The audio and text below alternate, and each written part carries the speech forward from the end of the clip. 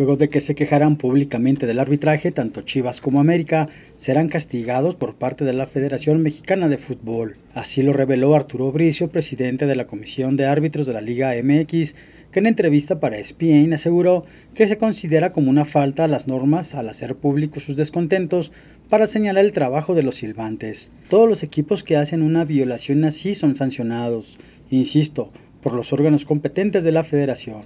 Generalmente no se da a conocer esa sanción, pero existen porque está muy claro que se puede y que no se puede hacer, dijo Bricio en relación al castigo de ética de la Federación Mexicana de Fútbol.